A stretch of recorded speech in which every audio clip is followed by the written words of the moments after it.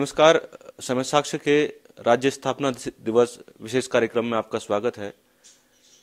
उत्तराखंड बनने के बाद क्या मिला, क्या मिलना चाहिए था?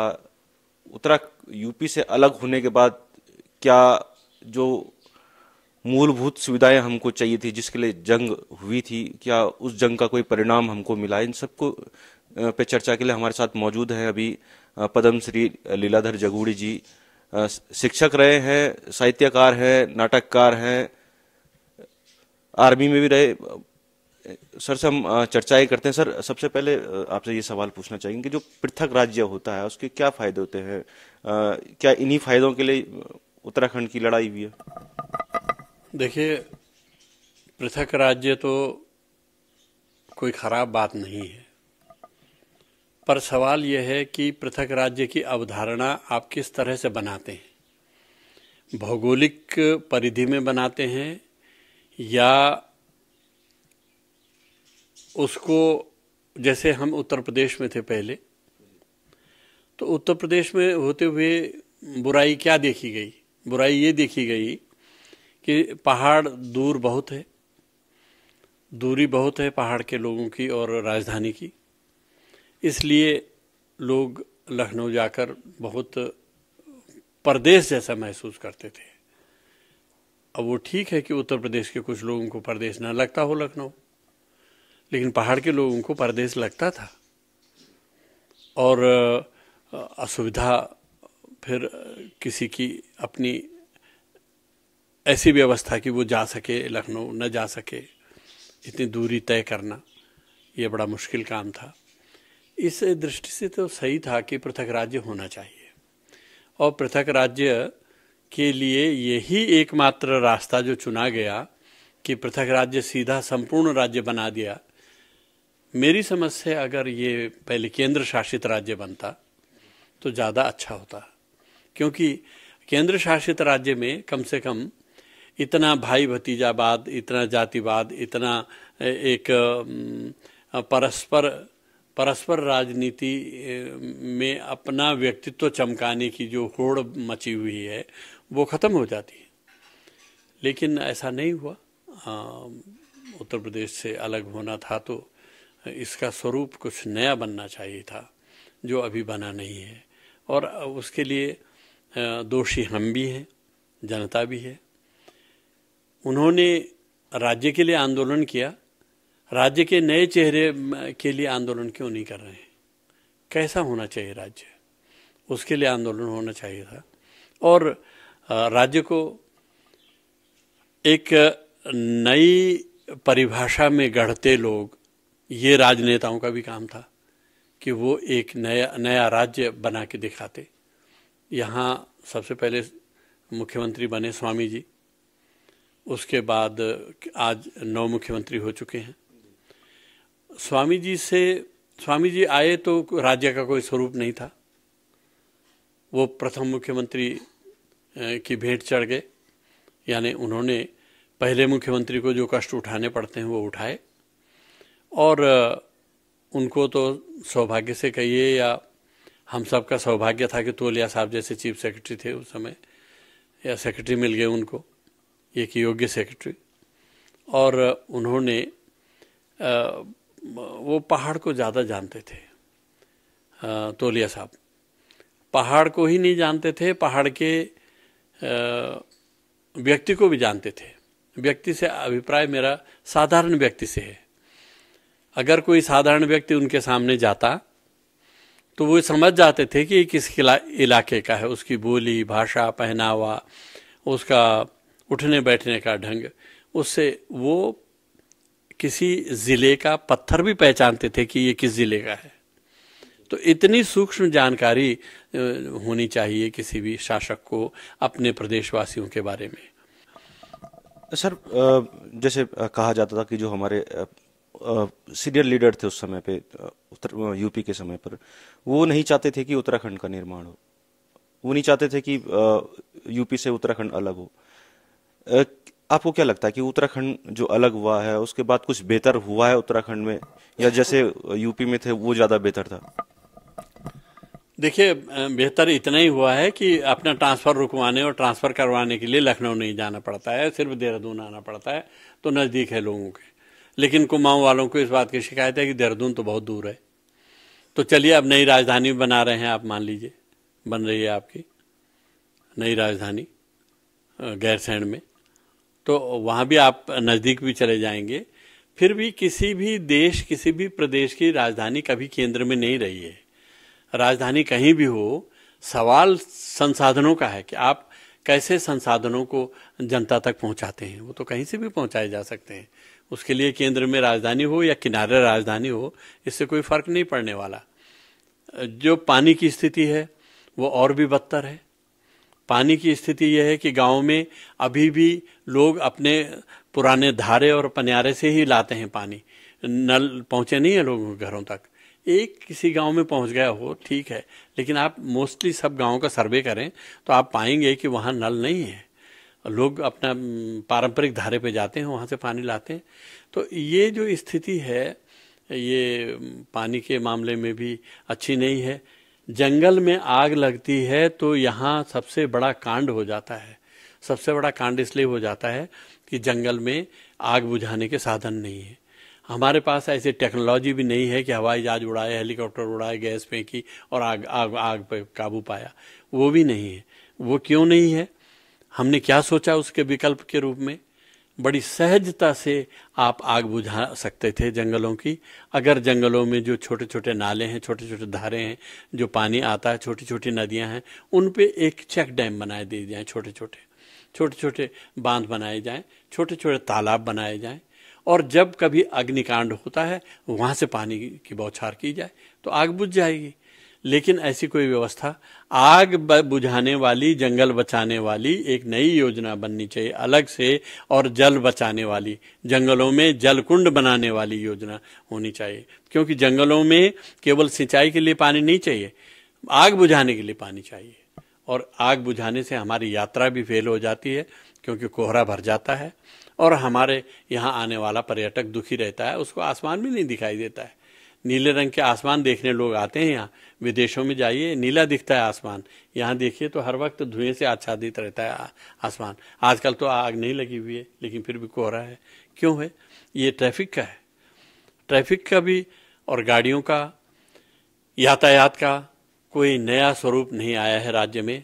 ये ये एक पुराना, पुराने चेहरे वाला, उत्तर प्रदेश अगर कुछ नया घटित हो रहा है वहाँ तो उत्तर प्रदेश का जो पुराना मुखौटा है पुराना चेहरा है वो इस राज्य का चेहरा है। वो इस राज्य को आप देख सकते हैं पुराने उत्तर प्रदेश के रूप को अगर कहीं देखना है जा करके तो आप उत्तराखंड आइए पुराना उत्तर प्रदेश देखिए। सर अगर नए स्वरूप की बात करें तो आपके हिसाब से क्या नया स्वरूप अब तक उत्तराखंड में है कुछ नया स्वरूप दिखा है आपको? भाई नया स्वरूप वही तो मैं आपसे भी पूछना चाहता हूँ आप तो स्वयं पत्रकार हैं भाई। आप आपने क्या देखा? आपने यही देखा ना कि मान लीजिए, एक नई सड़क बन रही बद्रीनाथ के लिए और गंगोत्री के लिए, वो भारत सरकार बना रही है। वो, यहाँ की सरकार नहीं बना रही है। तो यहाँ की सरकार की सड़कें तो गाँव में बननी चाहिए थी। गाँव के लिए, गाँव को जोड़ा जाना चाहिए था। वो कहाँ है? गाँव में तो कोई सड़क बनी नहीं गाँव तो वैसे ही अभी भी यातायात से वंचित हैं। वो तो पैदल आते हैं अपने गाँव मैं स्वयं, क्या मुख्यमंत्री जी ये बता सकते हैं कि धंगण गाँव कहाँ है? किस और धंगण गाँव के लिए क्यों नहीं गए आज तक कोई रोड? क्या बता सकते हैं कि तोलीसैण का स्कूल इंटर कॉलेज मोटर से वंचित क्यों है? वहाँ टीचर क्यों नहीं जाते हैं?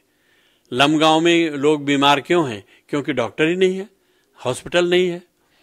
सेम मुखेम जो प्रतापनगर ब्लॉक का ऊपरी क्षेत्र है, मैं जहाँ का रहने वाला हूँ, मैं वहीं का उदाहरण दे सकता हूँ। बाकी भी मैंने घूमा है, मैं वहाँ के भी उदाहरण दे सकता हूँ।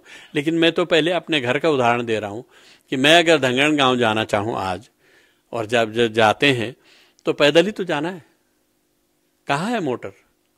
मोटर आपने ऐसी जगह डाल दी है, ठीक है, वहाँ भी मोटर की ज़रूरत थी, आपने रोड बना दी। लेकिन उससे अधिकांश गाँव वंचित हो गए। जो वंचित गाँव हैं, उनके लिए सब रोड क्यों नहीं बन रही है? एक वैकल्पिक, एक संपर्क मार्ग और बनने चाहिए, जिन, जहाँ लोग अपनी गाड़ियों से जा सकें। तो हिमाचल को देखिए, उन्होंने तो तमाम गाँव में पहुँचा दिया छोटे छोटे गाँव में रोड पहुँचा दिए। तो कहाँ है? ये सरकार बिल्कुल सोई हुई सरकार है, ये जागृत सरकार नहीं है। ये सरकार केवल अपना टाइम पास कर रही है बधाई सरकार को, और उन्नीस साल हो गए उन्नीस साल में एक मुख्यमंत्री कितने मुख्यमंत्री बता रहे थे आपको? नौ मुख्यमंत्री बदल गए, बताइए। दो साल का एक मुख्यमंत्री औसतन पड़ा। तो विकास कैसे होगा? एक कोई स्थायित्व तो नहीं है। अब ठीक है कि एक दो आदमी अपना पाँच साल पूरा किए नारायण दत्त तिवारी जी। और नारायण दत्त तिवारी जी के टाइम पर तो काम हुआ। और अविस्मरणीय हुआ। अद्वितीय काम किया नारायण दत्त तिवारी जी ने। कम से कम नारायण दत्त तिवारी जी की बनाई हुई सड़कों पर नालियाँ ही बना दें। सड़क पर नालियाँ नहीं है बरसात में पानी आता है वो सड़क डूब जाती है। सर अभी आप मुख्यमंत्रियों की बात कर रहे थे। अगर हमने देखा है उत्तराखंड में बनने के बाद पहले मुख्यमंत्री से लेकर अब तक मुख्यमंत्री है अस्थिरता नज़र आई है। हर किसी की को यही भय रहा है कि कहीं मुझे मुख्यमंत्री पद से ना हटाया जा रहा जितना उनका शासनकाल होता है वो अपने गद्दी बचाने में अपनी कुर्सी बचाने में लगे रहते तो आप किस तरीके से देख रहे हैं इसको? देखिए अब मुख्यमंत्री तो तब नहीं हटाया जा सकता अगर वो विकासवादी हो और विकास के लिए निरंतर काम कर रहा हो। तो जनता ऐसा, ऐसी मूर्ख जनता नहीं है कि उसको उसको गद्दी से हटाने की बात कोई करे। या पार्टियाँ भी शायद नहीं चाहेंगी कि अपने अपने कुशल मुख्यमंत्री को कोई हटाना चाहे। अकुशल मुख्यमंत्री के पीछे लोग पड़ते हैं, जिसके पास कोई विजन नहीं है, कोई दृष्टि नहीं है, कोई बहुत लॉन्ग प्लानिंग नहीं है। क्या लंबी प्लानिंग दी है यहाँ के मुख्यमंत्रियों ने अभी तक? यहाँ नारायण दत्त तिवारी के अलावा किसने नई प्लानिंग दी है? तो वो दिखाई नहीं देता है। अब मैं किसी का नाम नहीं लेना चाहता हूँ। इस तरीके से राज्य नहीं चलाया जाता जिस तरीके से जितना रिलेक्टेंटली राज्य को देख रहा है उसका प्रथम व्यक्ति। प्रथम व्यक्ति को चाहिए कि उसके पास विजन हो, वो दिखाए कि असंभव कार्य भी करके दिखाए। संभव कार्य तो सभी करते हैं। असंभव कार्य करके दिखाए। ऐसी योजनाएँ बनाए जिससे कि लोग याद रखें कि पहाड़ की समस्याएँ दूर हुई हैं। पुल नहीं है गाँव में साहब। गाँव की जो नदियाँ हैं, वो, उनमें बहते हैं, उनके खबरें तक नहीं आती हैं। कितने लोग बह गए इस साल नदियों में? इसका कोई आंकड़ा नहीं, कोई डाटा नहीं है यहाँ। तो ये डाटा कौन तैयार करेगा? ये तो पत्रकारिता को भी चाहिए, पर पत्रकार भी तो वहाँ जाएगा ऐसी जगह तो पत्रकार भी बह जाएगा। तो इसलिए पत्रकार यहीं रहे, देहरादून में बैठे हुए तो ज़्यादा अच्छा है, अपने को हिफाजत से रख सकते हैं। नहीं तो गाँव में जाएँगे तो बरसात में जाएँगे तो बह जाएँगे, नहीं तो लैंड स्लाइड के नीचे दब जाएँगे कहीं भूस्खलन में। तो इसलिए पत्रकार भी बेचारे खतरा मोल नहीं लेना चाहते हैं। मैं तो चाहता हूँ कि प्रदेश की जनता, प्रदेश के लोगों की प्रदेश के भूगोल को समझा जाए कि प्रदेश का भूगोल एक जैसा नहीं है। प्रदेश का भूगोल अनेक प्रकार का है। कुमाऊं की समस्याएँ अलग हैं, गढ़वाल की अलग हैं। आप जौनसार में जाइए, वहाँ की समस्याएँ अलग हैं। वहाँ आप हिमाचल प्रदेश को मॉडल के रूप में मान लें, उन्होंने तो गाँव गाँव सड़क पहुँचा दी। यहाँ सड़क ही नहीं गई है।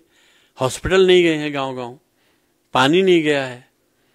और जंगलों की रक्षा के कोई उपकरण नहीं लगे हैं कहीं। यहाँ तो ऑफ़िस में और होटलों में अग्निशमन यंत्र नहीं लगे हुए हैं तो जंगल को क्या बचाएँगे? तो अभी कुछ राज्य को बहुत कुछ करना है। ये राज्य कुछ नया कुछ कर सके तो राज्य बनने की सार्थकता है। वरना एक राज्य ये भी है, ठीक है, अन्य राज्यों के साथ एक राज्य ये भी है। सर, जैसे अभी आप प्लानिंग की बात कर रहे थे तो जो प्लानिंग बनाने का काम होता है, वो हमारी अफसरशाही या नौकरशाही का होता है। अब पहले सी तभी काम करती है ना जबकि आपका जो प्रथम व्यक्ति है जो मुख्यमंत्री है वो उसको विजन दे नौकर नौकरशाही को कि क्या मैं ऐसा प्लान कर रहा हूँ मैं मुझे ये प्लानिंग चाहिए। तो नौकरशाही देगी बना के। लेकिन जब विजन नेता नहीं देगा तो फिर ये नीचे के मातहत कर्मचारी कैसे अपना विजन ठोक देंगे ऊपर? वो नहीं हो सकता है। ये तो मुख्यमंत्री को अपना विजन देना चाहिए सब चीज़ों के बारे में। मुख्यमंत्री जिम्मेदार है। अगर जैसे हम आजकल लगातार देते देखते हैं या पिछले कुछ सालों में देखा कि लगातार नौकरशाही पे भी सवाल खड़े हुए हैं। जो मंत्री हैं, विधायक हैं, वो भी सवाल खड़े करते हैं कि हमारे अधिकारी हमारी सुनते नहीं है। आप किस तरीके से देखते हैं? क्योंकि आप यूपी के समय भी आपने देखा है, यहाँ पे जो पहले चीफ सेक्रेटरी अभी उनकी भी आपने बात की है। नहीं, देखिए, नौकरशाही अपने नेतृत्व से दिशा निर्देश लेती है। और अगर नेतृत्व को इच्छा है तो नौकरशाही से दिशा निर्देश लेता है कि भाई, आप बताइए इस विषय में आपके क्या विचार हैं। अगर ऐसा कुछ हुआ है यहाँ तो वो हमको पता होना चाहिए ना कि ऐसा हो रहा है। वो पता नहीं लगता है कि कहाँ क्या क्या विचार मांगा गया है, क्या विचार दिया जा रहा है। वो नए विचार का पता नहीं लगता है। तो वो पता, या तो पब्लिसिटी आपकी इतनी कमज़ोर है, आपका काम हो रहा है और पब्लिसिटी नहीं हो रही है तो ये भी एक दोष है। पर मुझे लग रहा है कि पब्लिसिटी, आप करेंगे नाकारापन की पब्लिसिटी करेंगे क्या? आप, आपके नका, नाकारापन की पब्लिसिटी तो पहले ही हो रही है, अपने आप हो रही है। तो इसलिए इस देश, इस राज्य को तो एक नया स्वरूप मिलना चाहिए और वो नेतृत्व ही दे सकता है। नेतृत्व को चाहिए कि वो नया विज़न, नया कुछ दृष्टिकोण नए विचार पैदा करे, नए प्रोजेक्ट पैदा करे। यहाँ के लड़कों के लिए कौन सी फैक्ट्री आप आप पहाड़ में, क्या फैक्ट्रियाँ नहीं लग सकती हैं क्या पहाड़ में? स्विट्जरलैंड में कैसे फैक्ट्रियाँ लगी हुई हैं? वहाँ भी पहाड़ है। तो विदेश में आप जाइए, देखिए पहाड़ी क्षेत्र का कैसे विकास हुआ है। हिमाचल में इतनी फैक्ट्रियाँ कैसे लग गई? सीमेंट की फैक्ट्री, हिमाचल में। हमारे यहाँ भी तो सीमेंट की कई फैक्ट्रियाँ लग सकती हैं। अब उसको आप केवल पर्यावरण प्रदूषण का कारण मानने लगे तो ये भी एक ज़बरदस्ती होगी। पर्यावरण के नाम पर दो प्रकार के तत्व तो यहाँ काम कर रहे हैं। एक तो है पर्यावरणविद और एक है पर्यावरणवादी। जो पर्यावरणविद हैं, वो तो जानते हैं कि पर्यावरण का मतलब क्या है। और जो पर्यावरणवादी हैं, वो केवल अड़ंगा डालने के लिए है। वो केवल ताकि विकास कार्य ना हो। विकास कार्य हो रहा है तो वहाँ पर्यावरणवादी पहुँच जाते हैं। पर्यावरणविद जानता है कि अगर ये पेड़ सौ वर्ष की उम्र होगी, वृक्ष की भी आयु होती है। वृक्ष कोई अमर चीज़ नहीं है। वो सौ डेढ़ सौ साल अगर उसकी उम्र है तो खत्म हो जाएगा। तो खत्म होने से पहले उसका उपयोग होना चाहिए और उसको रिप्लेस करने की व्यवस्था होनी चाहिए कि वहाँ दूसरा पेड़ लगा दिया जाए। या जितने पेड़ हम अब काटेंगे, उससे दुगने पेड़ पहले हम लगा लें और तब उतने पेड़ काटें। तो ऐसी प्लानिंग बननी चाहिए। सर, जब उत्तराखंड बना था तो उसको जो राजधानी मिली, वो स्थायी, अस्थायी राजधानी मिली। और उसके बाद गैरसैंण को लेकर लगातार आंदोलन हुए। अब गैरसैंण ग्रीष्मकालीन राजधानी बना दी गई है। राजधानी को लेकर आप किस तरीके से देखते हैं? नहीं, ठीक है, अगर बना दी गई है तो आप पहले राजधानी के लिए संसाधन ऐसा बनाइए ना, आप रेल ले जाइए ना वहाँ तक। अब रेल जा रही बद्रीनाथ तक तो बद्रीनाथ से कितनी दूर है गैरसैंण? कर्ण प्रयाग से कर्ण प्रयाग में आप रेल लाइन ले जा करके कनेक्ट करिए राजधानी को रेल लाइन से। तो किसी को शिकायत नहीं रहेगी। उधर से कुमाऊं से एक रेल लाइन ले आइए, गैरसैंण। तो कुछ रेल का तो काम ही नहीं हो रहा पहाड़ों में। रेल का काम अंग्रेज़ों ने थोड़ा बहुत शुरू किया था। आप, आपने क्या किया? कोई नया टाउनशिप बसाई क्या आज़ाद भारत में पहाड़ों में किसी ने? किसी भी सरकार ने? कोई नई टाउनशिप आई नहीं हमारे। पर्यटन का कोई नया केंद्र नहीं बना। पर्यटन के लिए सुविधाएँ नहीं है। तीर्थ, तीर्थाटन को ही पर्यटन मान लिया गया है। ये एक छोटी सोच है। पर्यटन एक अलग चीज़ है। आदमी की शादी होती है, वो घूमना चाहता है कुछ दिन, वो जाना चाहता है कहीं, थोड़ा आराम से अपनी पत्नी को और खुद को घुमाना चाहता है। तो ऐसे स्थल हमें विकसित करने चाहिए। सुंदर स्थल। केवल मसूरी के भरोसे नहीं चलेगा पर्यटन, केवल नैनीताल और अल्मोड़ा के भरोसे नहीं चलेगा।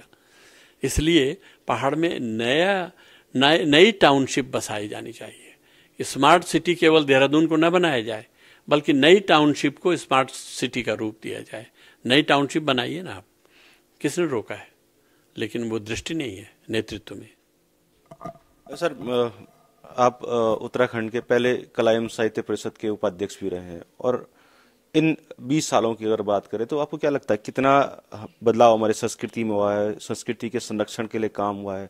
साहित्य के लिए के संरक्षण के लिए काम हुआ है? या फिर जो बात कही जा रही है हमारे जो गढ़वाली, कुमाऊनी, जौनसारी भाषा है, उसको आठवीं अनुसूची में डालने की बात है कि उसको भाषा का दर्जा दिया जाए।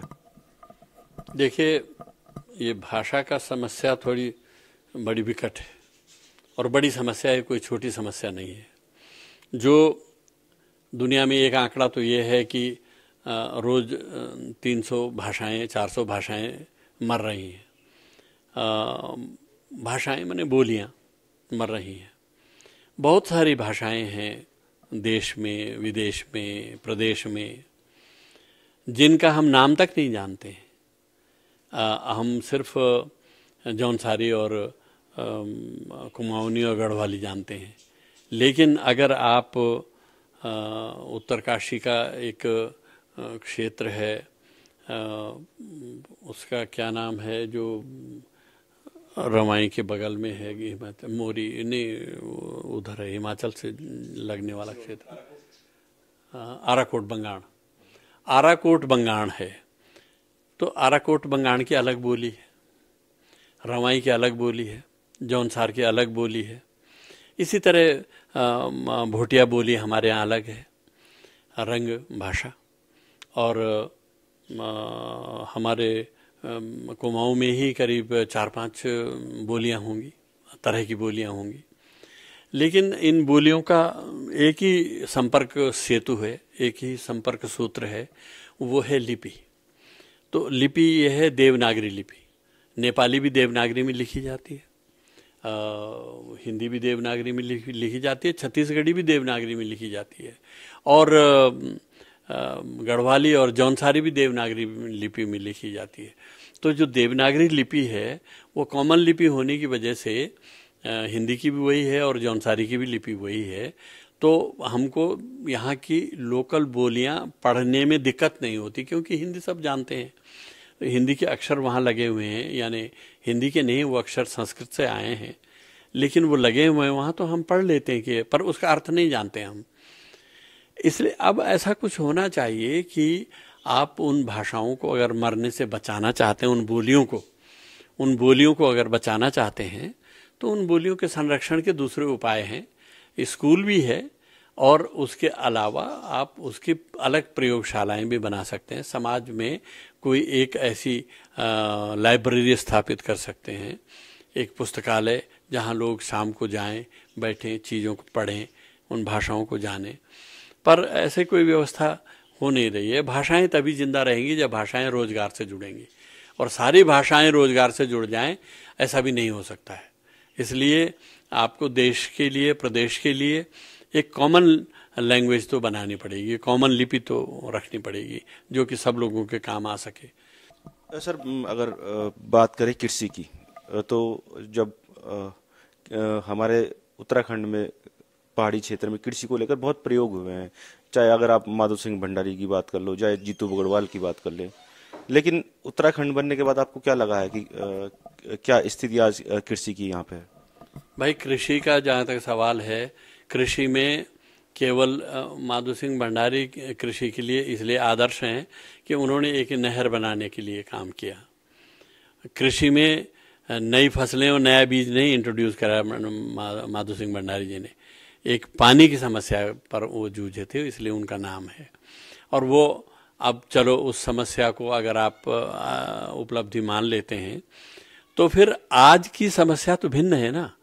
हर टेहरी में पहले टेहरी का एक केला होता था, वो लुप्त हो गया। टेहरी में आम होते थे, वो लुप्त हो गए उनकी प्रजाति। वो टेहरी के आम, टेहरी के केले और टेहरी नई फ़सलें क्या पैदा की हैं पंतनगर विश्वविद्यालय ने? पंतनगर विश्वविद्यालय ने नई फ़सलें क्या पैदा की हैं, क्या सोयाबीन? सोयाबीन तो नहीं होता है पहाड़ों में। आपने पहाड़ के बीजों और पहाड़ की खेती में क्या प्रयोग किए हैं? क्यों नहीं कृषि मंत्री ये कहते हैं कि पहाड़ के बीजों में क्रांतिकारी परिवर्तन लाया जाए? क्यों नहीं उनका डेवलपमेंट, क्यों नहीं झंगोरे का पौधा छोटा बना दिया जाता है और बीज बड़ा उसका दाना बड़ा बना दिया जाता है? क्यों नहीं झंगोरे के सारे कवच ढीले करके उसको दो कवच का बना दिया जाए? उसमें आठ कवच होते हैं और उसको कूटने में बहुत परेशानी होती है। या तो फिर आप झंगोरे कूटने की मशीन लाइए। तो झंगोरा कोदा हमारी जो पहाड़ी फ़सलें हैं, उनके बीजों का कोई नया कल्चर नहीं क्रिएट किया गया है, परिष्कार नहीं हुआ उन उन बीजों में। उन बीजों में साइंस साइंटिफिक प्रयोगों की आवश्यकता है। और पंतनगर विश्वविद्यालय को चाहिए कि पहाड़ी बीजों पर काम करें, पहाड़ी बीजों पर एक अलग ब्रांच बनाएँ। और पंतनगर नहीं बना सकता है तो नया विश्वविद्यालय खोला जाए एग्रीकल्चर यूनिवर्सिटी दी जाए दूसरी। और वो पहाड़, केवल पहाड़ी पहाड़ी बीजों के संरक्षण पर और उनके विकास पर और उनका नया संस्करण पैदा करने पर अपना काम करें। बिल्कुल, कहीं ना कहीं साफ़ है कि जो हमारा नेतृत्व है, अब बात उस पर आती है कि हमारे नेतृत्व की इच्छा शक्ति क्या है। डेवलपमेंट की भी बहुत सारी ज़रूरत है, चाहे कृषि को लेकर हो, चाहे पर्यटन को लेकर हो। जो जगूड़ी जी का कहना है कि इससे बड़ा तो यूपी का समय था जहाँ पे बदलाव भी होते थे और जो नीतियाँ आज थी, वो यहाँ तक पहुँचती थी। खबरों के लिए आप देखते रहिए समय सक्ष। समय सक्ष के फेसबुक पेज को लाइक और शेयर करना ना भूलें। साथ ही समय साक्ष के यूट्यूब चैनल को ज़रूर सब्सक्राइब करें। धन्यवाद।